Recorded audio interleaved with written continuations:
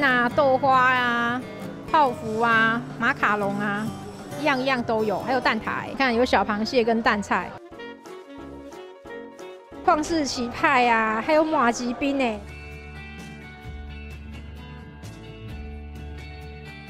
嗨，大家好，我是云飞。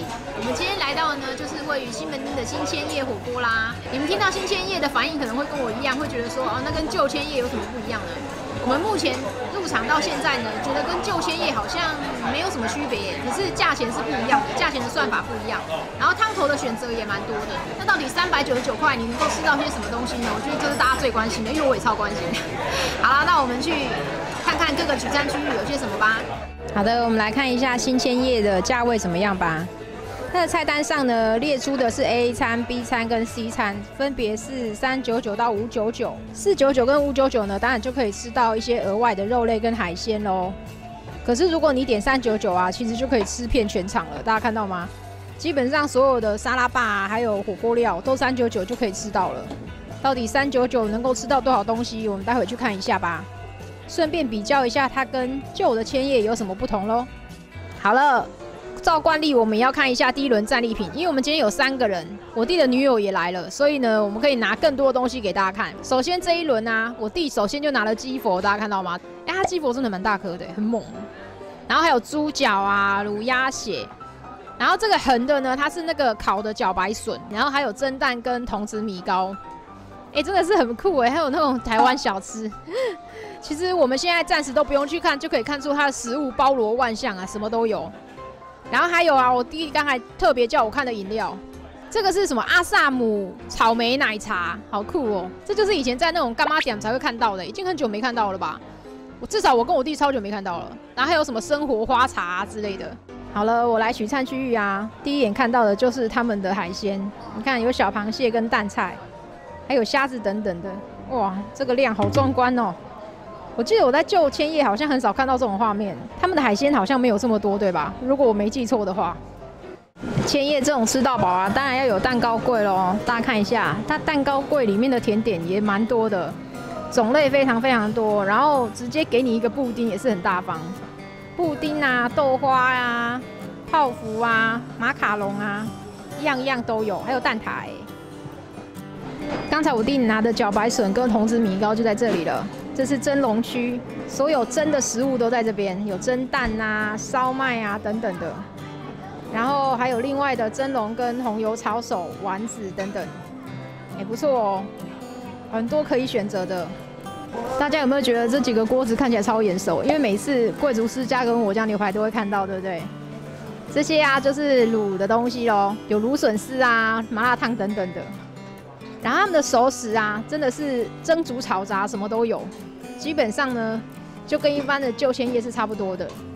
不过他们这个卖相真的是还不错，看起来是有用心维持的，还有炸物等等的。大家光是看就知道了吧？这个菜色还不错哦，很漂亮。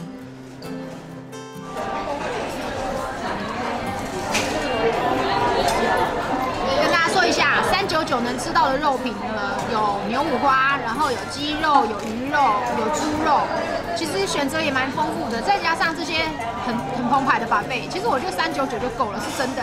我为什么会抱持怀疑呢？因为我一开始看到有人跟我介绍的时候，他说，哎，三九九应该就可以吃得饱了。我就想说啊，为什么会最便宜的反而吃得饱？但其实我我懂了，其实就只是因为全场都可以吃，然后你再加上自己的火锅啊，哇，其实就很不得了了，东西够多了，所以。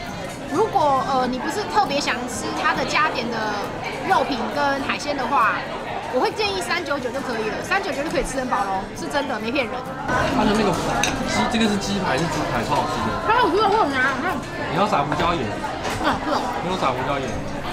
哎，这个剑神你有看到吗？超大嘞，超长的，你看。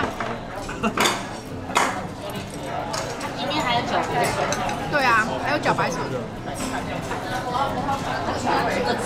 这个剑笋超长的，我因为我很喜欢吃笋子，然后我刚才就直冲笋子那一那一块，结果我走过去才发现，哇，这个剑笋也太长了吧，好酷啊！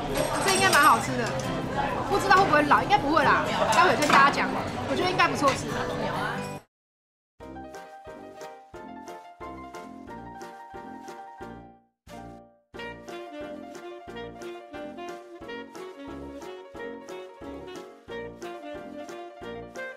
大家看到吗？台式小菜现点现做，哎，好棒哦！我看了一下，这边有很多种食材，真的就是小菜的食材哦，有皮蛋啊，有豆子啊等等的，哦，还不错哦。这个这个服务的话是旧鲜叶没有的吧？我印象中没有在旧鲜叶看到过。哎，很酷哎，很新潮哦。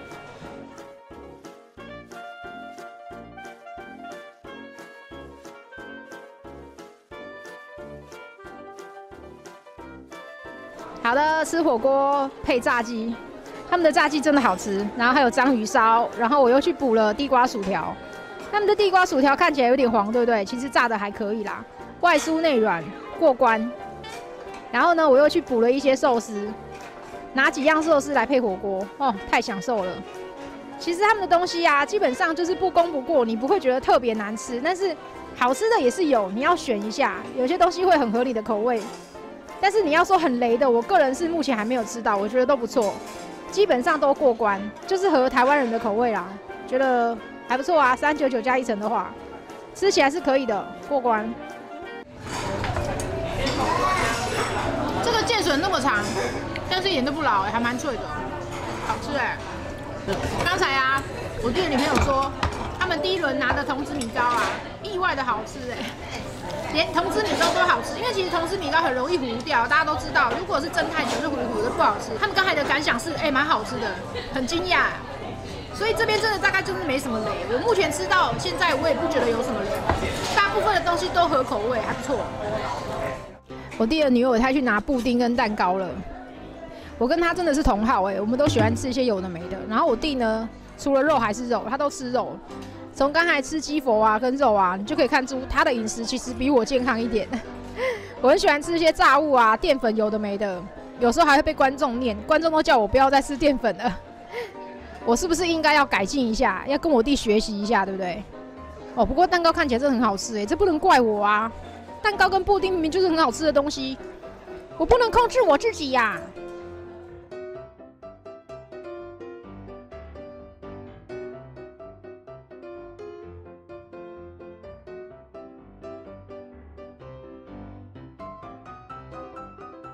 来喽，我们来看看第一个冰柜吧。这边有好多种冰棒可以选哦，旷世奇派呀，还有马吉冰呢。大家看到吗？紫色的那个，那个我超喜欢吃的。等一下，我的目标就是它了。第二个冰柜就是杜老爷啦。哦，这冰淇淋很多种哎，有冰淇淋，有冰棒，真的还蛮不错的。我刚才其实有看到双淇淋机，所以吃冰吃甜点的话，这一间是不会让你失望的，很不错哦。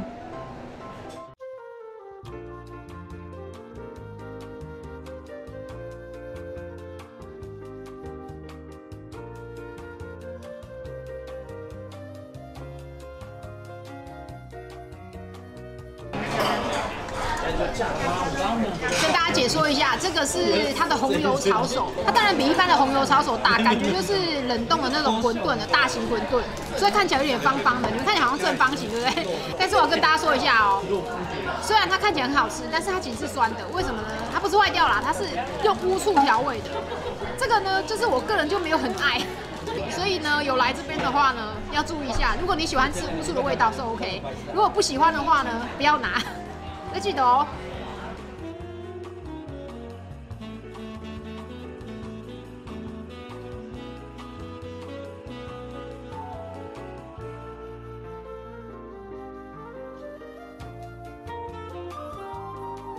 刚才我弟在问我说啊，我都在忙着拍，到底有没有吃饱啊？我想说，我当然会吃饱啊，我觉得不可能亏待自己的。看看我马吉冰、泡芙、台式马卡龙跟蛋糕，哦，一样都没错过。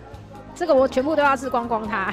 这间新千叶啊，真的是应有尽有，每样东西我都很努力的吃到了，哦，好不好满足哦，开心，绝对不会亏待自己的我。刚才我弟还问我说，哎，你是不是都在露营？你有吃吗？你有吃饱吗？我当然有吃饱啊，怎么可能亏待自己呢？钱都花了，当然要吃饱啊。